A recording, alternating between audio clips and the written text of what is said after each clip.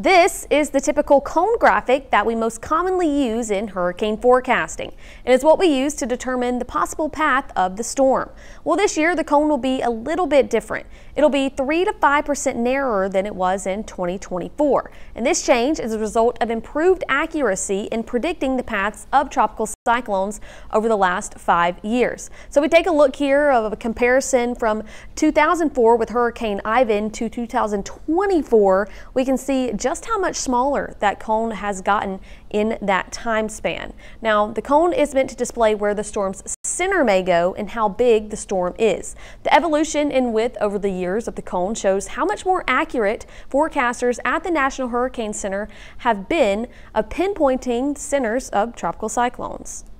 The tools and the forecasting has certainly improved over, over the stretch of my 20 plus year career. Uh, especially in regards to hurricane track forecasting, we have made significant improvements in hurricane track forecasting.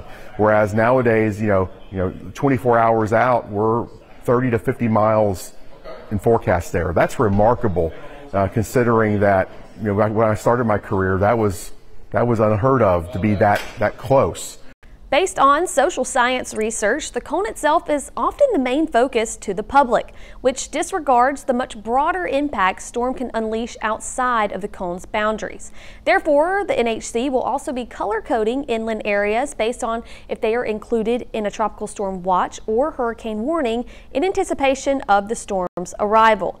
So we can see here on this map where those areas well outside of the cone's path are in those colors that indicate that they also do have those risks as that storm does move on to land. So this will help address the misconception that risks only lie within the cone and help those who might reside outside of the cone's path be aware of impacts that could also include their area such as high winds, flooding, tornadoes, and storm surge. So the highlighted watch and warning zones will help enhance storm preparation, ensuring areas outside of the cone are not caught off guard.